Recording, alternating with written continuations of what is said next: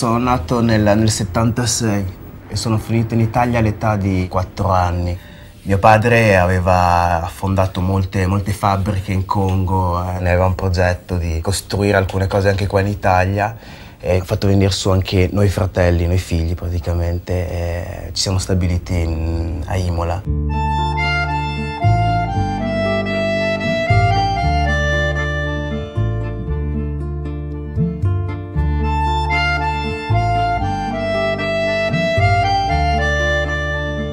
La nostra vita Imola consisteva in una, in una vita da ricchi praticamente, ricchi strani, ricchi africani diciamo.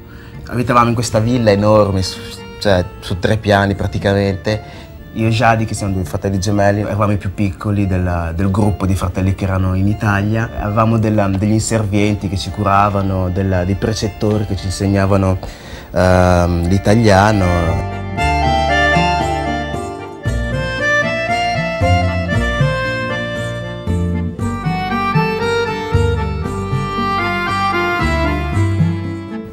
Mia famiglia praticamente, mh, siccome avevano un affare molto grosso con altri soci italiani così e anche africani, si sono mangiati i soldi tra di loro, si sono fregati tra di loro e anche mh, mio padre è caduto in, in crisi e, e, mh, ed è scappato in Africa con mia madre, è ricercato dalla polizia per accumulo di debiti e a noi fratelli ci hanno lasciati qui in Italia.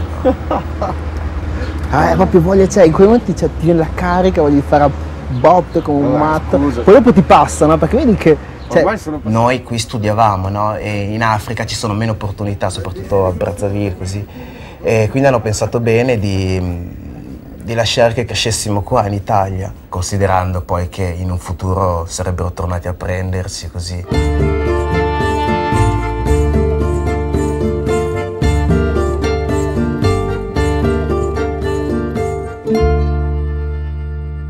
Me sono momenti, cioè non ricordo per niente perché ero piccolo, no? Però io ricordo, no? Il, il, periodo in cui scappò mio padre coincise praticamente con la nostra casa che prendeva fuoco.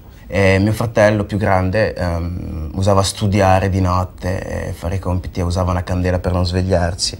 Allora no, si è addormentato con la candela accesa e la casa ha preso fuoco per me quello è stato un po' lo scatto no, dell'abbandono della famiglia perché da lì siamo passati ovviamente in mani dell'assistenza sociale, no, dell'USL. Allora, il piatto che poniamo adesso si intitola Madre e parla praticamente del rapporto che hanno certi ragazzi con i loro genitori, non molto belli. I miei genitori, il progetto che avevano di riportarci in Africa alla fine non ha mai preso piede e anzi il nostro rapporto è sfumato negli anni. Nei confronti dei miei genitori non, boh, non ho nessun rancore, voglio dire, alla fine. Cioè le cose sono andate in questo modo e a me sono andate bene alla fine.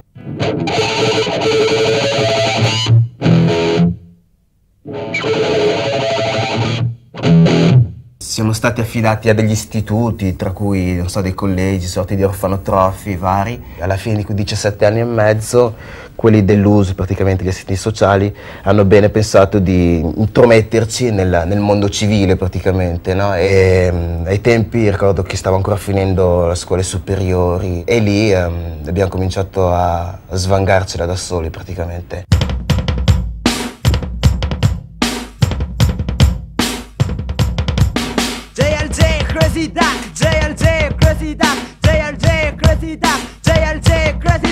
In questi anni ho fatto un po' di tutto, no? l'operaio fabbrica, l'attacchino, il Pony Express, l'autista.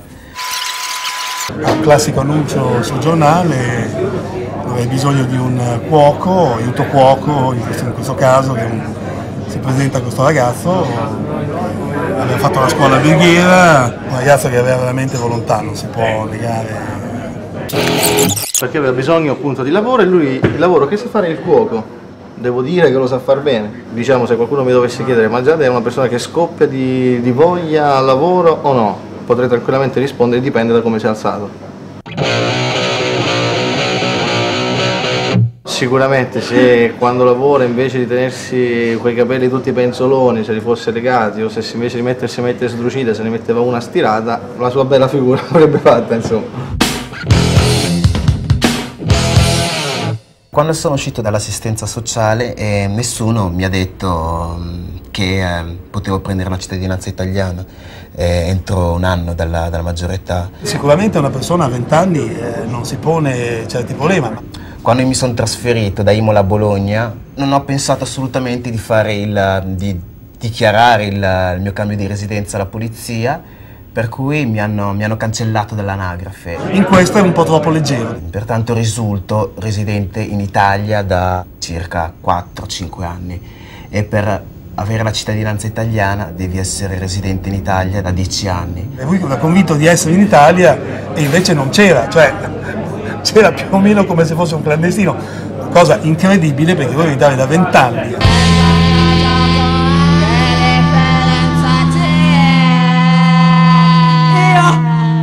Avuto niente di quello che avete avuto voi.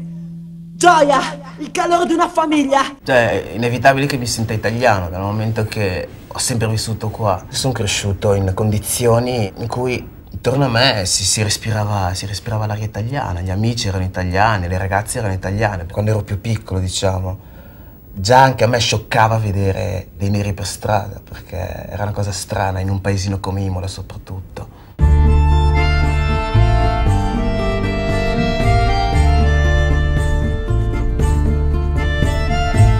Prima volta in cui mi sono sentito straniero è stato quando i miei compagni di classe si avvicinavano all'età in cui potevano andare a votare e parlavano della situazione politica in Italia e di chi avrebbero votato e, e io non potevo farlo.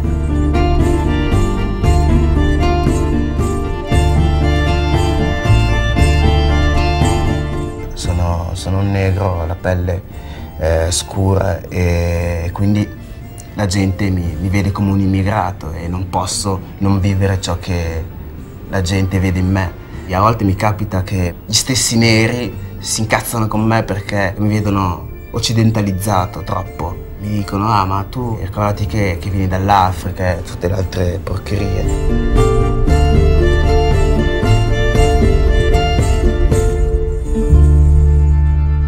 Non ho mai avuto un lavoro fisso, cioè ne ho avuti pochi perché perché i lavori fissi mi prendevano troppo tempo.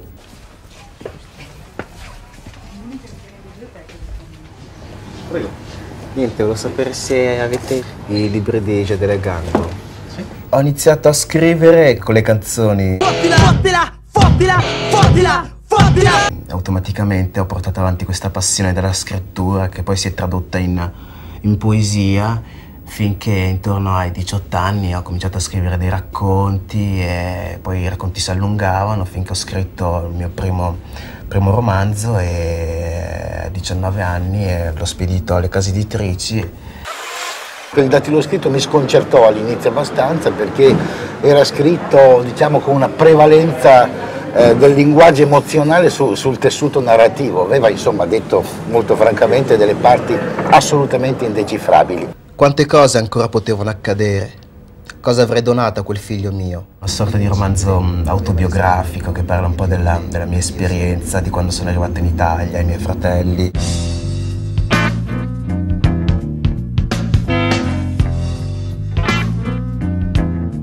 Sì, mi sono chiesto se il mio interesse per questo romanzo verso la notte Vaconga fosse dovuto alle sue componenti di africanità eh, c'è questo ricordo ancestrale del, del, villaggio, dei riti, addirittura quest'Africa che trasborda sulle colline bolognesi, mm, però non era soltanto questo, sicuramente no. La cosa che mi affascinava era il linguaggio. Io cioè, se avessi i soldi sarei messo tre volte peggio di lui, che mi comprerei delle macchine ultra sborone, cioè ne andrei a distruggere tre o quattro, le regalerei, non so, perché sono fuori. Nelle lunghe sedute che abbiamo fatto insieme per fare l'editing del suo romanzo, io gli dicevo guarda che se tu mi dici che eh, un personaggio se ne stava retto in piedi accanto alla porta, retto non vuol dire ritto, vogliono dire due cose diverse. Una persona retta è una persona che si comporta in un modo, uno che sta ritto vuol dire che sta a piombo. Lui ci pensava un po' e mi diceva, sì però retto suona meglio. Jade, non, non è una musica, no, è una musica. Ma com'è che stanno vendendo? Si stanno muovendo abbastanza bene. Sì? Sì. I giorni d'artista, Sire. È questo che tento di raccontarvi, di quando mi sentivo ancora un artista, Sire, di quando mi credevo un coniglio con la testa di cane, un ragno senza zampe che divora un elefante. Ed è difficile da spiegare perché è un romanzo su, su due piani, su un, uh, che tiene un po' il registro shakespeariano, però narra di uno scrittore praticamente che, che si innamora dei, dei, dei suoi personaggi eh, fino a interferire nella loro storia d'amore. Siamo sempre più attraversati da flussi di informazioni in una quantità tale da renderli inassimilabili in termini di sintesi. Il lavoro di sintesi sulla lingua e anche sulle narrazioni, sui miti contemporanei che fa Jadeline è molto eh, utile per ridurre la complessità di questi flussi e ridurla creativamente. Le mie giornate passavano simili a quelle di un bastardo, di un miserabile ibrido a cui piaceva stare accovacciato sul davanzale della finestra, da lì pensavo e fischiettavo, da lì guardavo in alto e intravedevo le cose del cielo, poi chinavo gli occhi e vedevo gli schiaffi del mare, seppure di sotto c'era l'asfalto.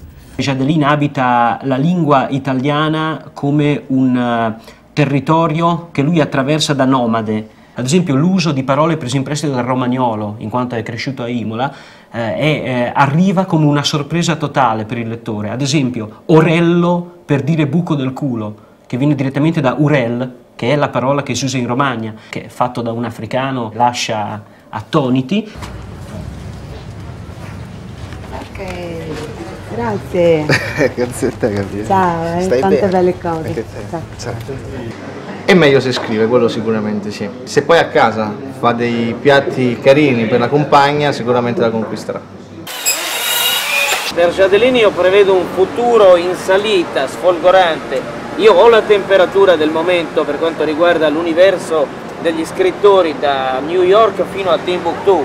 È l'unica scaturigine del momento e proviene dalla mente di quest'uomo straordinario. Per scrivere ci vuole molta tenacia, molta pazienza, molto tempo, molte ore. E Jade non sembra avere tutte queste doti, anche se tenacia ce l'ha. A me ha colpito molto il fatto che si sia autoridotto le ore di lavoro e quindi anche i suoi introiti per avere più tempo per scrivere. Allora, il mio permesso di soggiorno scade nel 2002 e secondo la legge Bossi e Fini una, uno straniero uh, per rinnovare il permesso di soggiorno deve avere un contratto di lavoro. Però io il contratto di lavoro purtroppo non ce l'ho perché, perché scrivo e quindi eh, penso che dovrò escogitare qualcosa. Ma un contratto di lavoro a Gangbo io glielo proporrei a occhi chiusi, ma lo dice il termine stesso, contratto. Gangbo, come gli splendidi guerrieri delle sue savane, è nato per correre libero a perdifiato. Contratto sarebbe sacrificato, i muscoli contratti non gli permetterebbero di librarsi in volo. No, il volo è adesso, adesso. Viviamo in una cultura che apparentemente fa dell'ambizione individuale una delle proprie pietre angolari. L'obbligo burocratico a trovarsi un lavoro fisso priva Jadelin del suo diritto all'ambizione. Prevedo e anche sì, auspico per Jadrin un futuro roseo se viene acchiappato da agenti come me. Se invece viene acchiappato da agenti come quelli di Bolzaneto, ecco, la vedo molto dura. Che cosa farò? Uh, non ne ho idea, non so. Se mi rimandassero in Africa, boh, metterei su un bar in Africa o, o una baracchina con, per le piadine, che so. Mi sembra giusto cacciare gli extracomunitari fuori dal paese. Mi sembra giusto che nel 2006 gli abitanti di questo continente Hanno distrutto, rubato tutti i beni dei nostri ex Schiavizzato gli abitanti di questo passato Ora noi è rimasto un paese grande, evidente. Ma dimmi, a cosa serve un paese grande se dentro non c'è niente?